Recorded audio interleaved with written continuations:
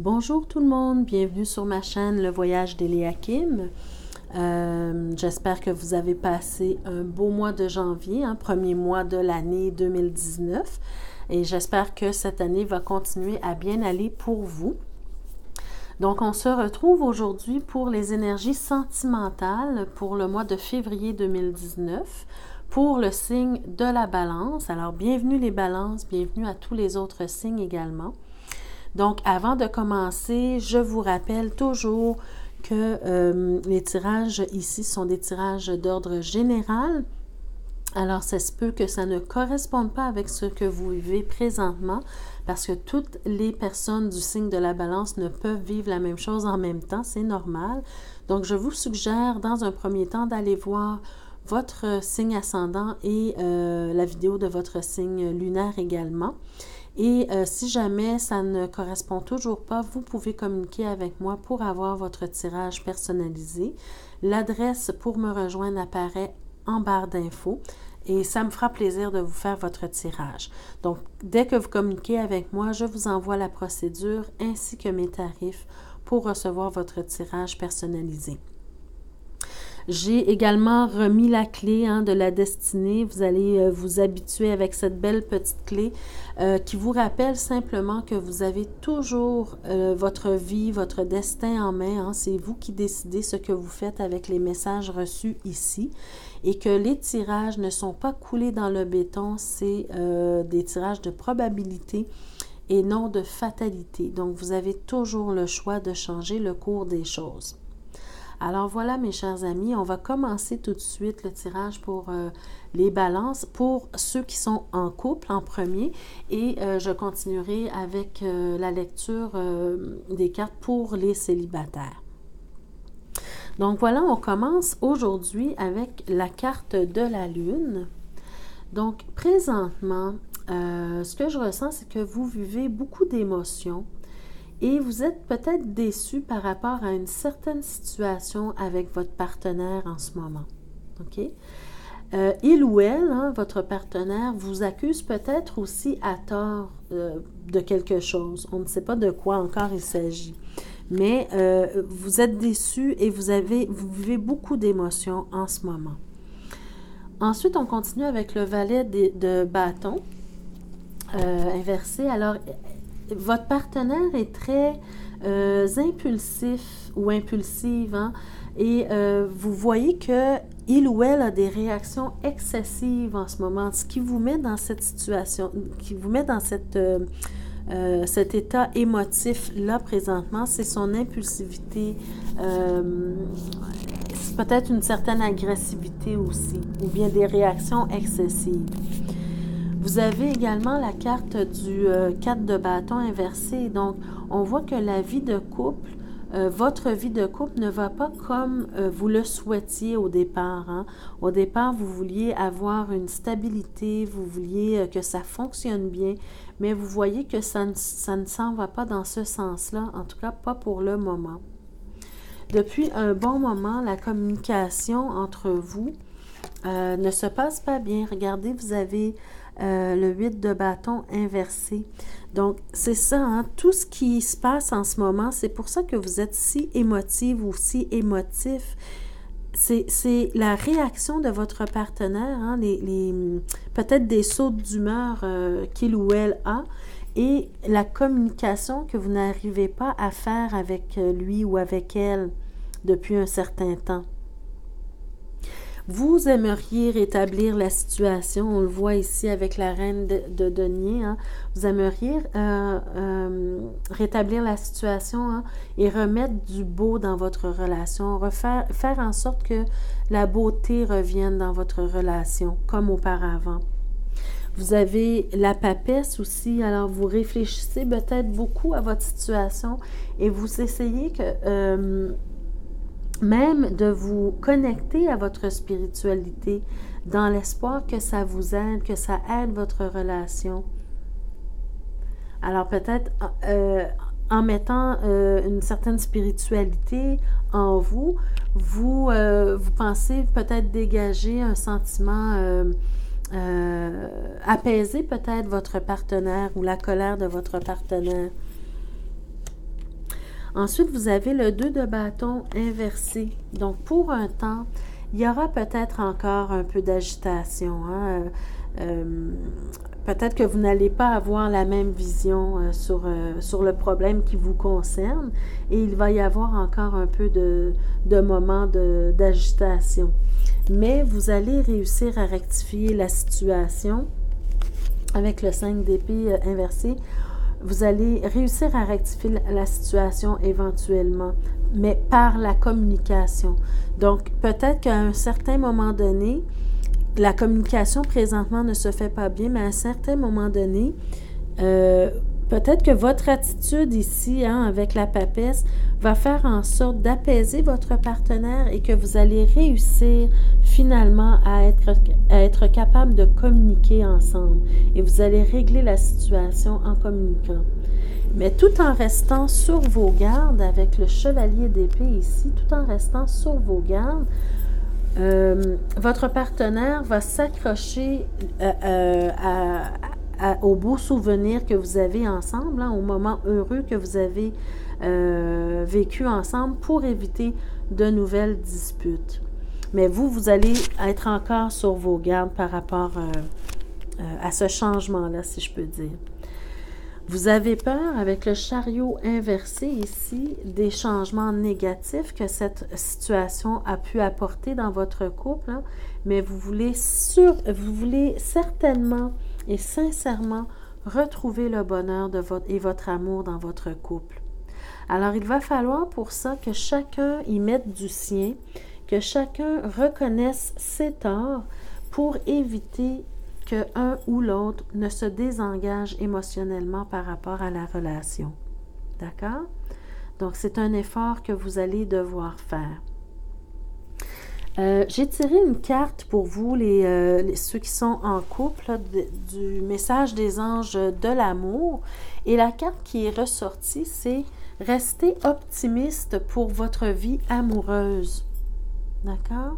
Alors, voyez-vous, on le voit déjà dans le, dans le tirage ici que euh, il faut que vous restiez optimiste parce qu'au départ, vous aviez de la difficulté à communiquer avec votre partenaire qui avait des réactions excessives et qui, vous mettait dans un état euh, très émotif. Hein avec des craintes, mais vous avez fait quelque chose pour renverser la situation parce que vous tenez à votre couple, vous voulez toujours que euh, remettre de la beauté dans votre couple et vous, vous y êtes pris avec euh, la spiritualité, de mettre un peu plus de spiritualité dans votre propre vie à vous, ce qui a fait en sorte que ça c'est venu apaiser votre comportement, votre état d'esprit est venu apaiser la colère de votre partenaire et ce qui fait que maintenant vous êtes plus à même de communiquer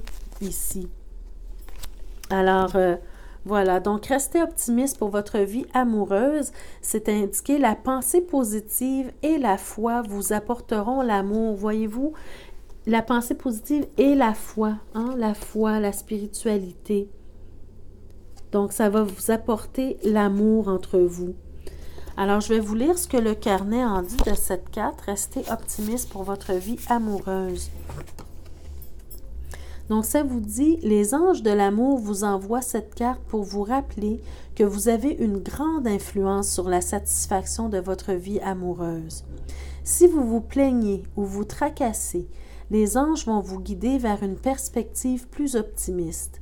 Même si vos espoirs ont été bien souvent déçus, il y a toujours de l'espoir pour qu'une relation romantique vienne à vous, si vous y croyez. Je vais voir s'il y a un autre... Euh, oui. Alors faites un premier pas dès aujourd'hui pour concrétiser la vie amoureuse que vous désirez. Que vous soyez seul ou en couple, commencez par vous visualiser heureux et satisfait en amour. Imaginez-vous avec un partenaire merveilleux qui incarne les qualités les plus importantes à vos yeux. Voyez cette personne vous apprécier et vous aimer en retour. Vous pouvez écrire des listes et faire une méditation quotidienne sur vos sentiments, espoirs, désirs et intentions. Vous pouvez aussi créer un tableau de rêve avec des images et des pensées concernant vos objectifs amoureux que vous affichez sur un mur. Regardez chaque jour ce tableau avec une intention positive et suivez toutes les intuitions qui vous demandent d'agir selon vos rêves. Votre perspective positive vous rendra plus attirant d'un point de vue physique et énergétique, ce qui améliorera pour de bon votre relation à vous-même et aux autres, bien entendu. Alors voyez-vous, vous avez une action à poser et probablement que vous allez le faire ce mois-ci. Je parle au présent, hein, mais c'est euh, par rapport au mois ou au prochain mois. Donc, vous avez fait ou vous allez faire l'action nécessaire hein, pour calmer la situation ici. Vous êtes allé chercher votre côté spirituel pour apaiser euh, la tension. D'accord? Donc, vous, allez faire ce qu'il faut pour ça. Alors voilà pour vous euh, ceux qui sont en couple. Maintenant, pour ceux qui sont célibataires, alors euh, euh, on voit ici avec la Lune hein, que vous avez certaines craintes au plus profond de vous. Peut-être de vous engager dans une nouvelle relation, c'est ça qui vous fait peur. Et le problème, c'est que vos fondations ne sont, pas solides. Voyez-vous le 4 de bâton inversé? Il vous manque quelque chose et vous le savez. Pour réussir une vie de couple, vous savez qu'il vous manque ce petit quelque chose-là. Hein? Vos fondations ne sont pas solides. Auparavant, vous vous êtes rendu compte que toutes vos relations ne duraient pas. Et quand vous leur euh, donniez une chance, vous vous sentiez opprimé dans, cette, dans ces relations-là. Pourquoi? On voit ici maintenant que vous avez envie de vous créer une belle, euh, une belle vie amoureuse hein, dans laquelle vous allez vous sentir bien, vous allez euh, mettre beaucoup de beauté dans cette euh, relation-là. Vous avez envie de ça. Vous voulez une relation dans laquelle vous allez vous sentir connecté à l'autre. Hein. Vous allez même avoir de l'espace pour votre spiritualité, une vision claire aussi. Donc, vous aurez un travail sur vous à faire pour y arriver, mes chers euh, balances euh, célibataires. Hein. Vous allez avoir un travail à faire et euh, ici, pardon, pardonnez-moi, le 2 de bâton inversé. Donc, on voit qu'ici, vous avez quelque chose à faire, une action à prendre, un travail à faire sur vous-même. Et il y a un processus de guérison qui va, s'établir, qui va commencer à euh, poindre euh, au jour. Donc, il y a... Euh, vous devez passer inévitablement par des anciennes blessures hein, pour pouvoir réussir à avoir une vie de couple euh, épanoui, il y a un processus de guérison que vous devez faire et ça, c'est un travail que vous allez devoir faire sur vous. En ce faisant, vous allez déranger peut-être certaines personnes, hein, parce que quand on va guérir certaines blessures du passé, bien inévitablement, euh, souvent, on, peut déranger des personnes, parce que ça, ça demande de faire le point sur certaines situations. Peut-être qu'il s'agit de blessures de votre enfance. Hein. On le voit ici, des blessures de votre enfance euh, que vous devez régler avec euh, quelque adulte qui a eu, euh, qui, a, marché sur votre chemin quand vous étiez enfant. Alors, ces blessures-là doivent être réglées, des blessures de l'enfance.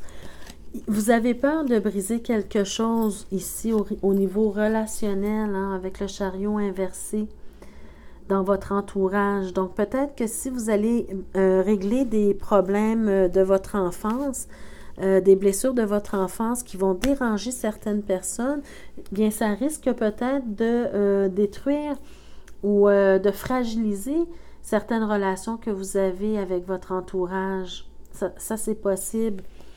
Mais on voit que vous espérez créer des liens, au contraire, plus solides avec ces gens-là. Euh, vous ne désirez pas, euh, parce que vous allez faire le travail de guérison, vous ne désirez pas au fond de vous euh, créer le chaos et des disputes. Vous voulez au contraire resserrer les liens avec ces, personnes-là. Donc, vous ne pouvez pas espérer, si vous ne faites rien, vous ne pouvez pas espérer recevoir ce que vous, ce que vous méritez dans une relation amoureuse si vous ne faites pas ce retour sur votre passé. Hein. Vous ne pouvez pas espérer euh, d'avoir ce que vous méritez dans vos relations euh, amoureuses. D'accord? Donc, le travail que vous avez à faire ici, bien, faites-le, prenez-le euh, au sérieux. Voyez comment il est important à faire pour vous. Et pour vous, les, les, célibataires, il y a une deuxième carte qui est sortie et elle va exactement avec le tirage parce qu'elle nous dit traiter les problèmes familiaux. Voyez-vous? Alors, euh, c'est parce que probablement que vous avez des problèmes euh, dans, dans, votre passé, hein, dans votre enfance, des blessures à guérir. Et, vous devez traiter avec vos, euh, les membres, certains membres de votre famille pour pouvoir réussir à régler ces problèmes-là de l'enfance. D'accord? Alors, euh, cette carte-là vous dit votre vie amoureuse tirera bénéfice du pardon que vous accorderez à vos parents. D'accord? Alors, vous avez probablement quelqu'un à pardonner dans votre entourage, dans votre famille. Je vais vous lire ce que le carnet en dit pour cette carte. Donc, traiter les problèmes familiaux.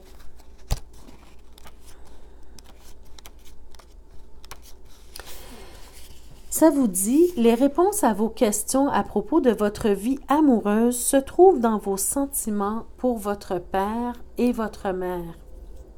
Les anges de l'amour voient que vous tirerez bénéfice du lâcher-prise de l'ancien ressentiment envers l'un ou l'autre ou envers les deux. Vos sentiments pour vos parents influent sur le choix de vos partenaires et la manière de gérer vos relations. Vous pouvez demander aux anges de vous aider à engager le processus du pardon. Pardonner à quelqu'un ne signifie pas que vous approuviez son comportement. Les anges vous diront que c'est plutôt une sorte de grande désintoxication émotionnelle. Cela veut dire je ne veux plus transporter d'énergie toxique dans mon esprit ni dans mon corps. Quand vous trouverez la paix intérieure par rapport à vos parents, vous n'aurez plus besoin d'attirer des partenaires ni des schémas relationnels malsains pour soigner vos blessures émotionnelles familiales. Toutes vos relations, surtout celles que vous entretenez avec vous-même, s'en trouveront améliorées. Alors voilà, mes chers amis, vous avez votre réponse. Donc, travaillez. Ceux qui sont en couple, restez optimistes pour votre vie amoureuse. Hein? Et ceux qui sont célibataires, bien, travaillez, traitez les problèmes familiaux avant de vous engager dans une relation amoureuse si vous voulez vous assurer de recevoir ce que vous méritez dans une relation. D'accord? Alors voilà, mes chers amis, c'était votre tirage pour ce mois-ci, mois de février 2019. J'espère qu'il vous a éclairé, j'espère que ça va vous donner des, pistes de solutions et euh, je vous souhaite que tout fonctionne bien pour vous. Alors, je vous souhaite de passer un très beau mois de février. Euh, n'hésitez pas à liker la vidéo, n'hésitez pas à la partager également. Hein. Peut-être que d'autres personnes ont besoin d'entendre ce message-là et n'ont pas accès à mes vidéos. Euh, peut-être aussi cliquer sur la petite cloche pour être notifié chaque fois que je mets des vidéos en ligne. Et euh, en attendant, bien, je vous souhaite de passer un très beau mois de février et on se retrouve le mois prochain pour d'autres énergies sentimentales. Merci de votre écoute, merci de votre présence et de vos encouragements. Bonne journée à vous et bon mois de février. Au revoir.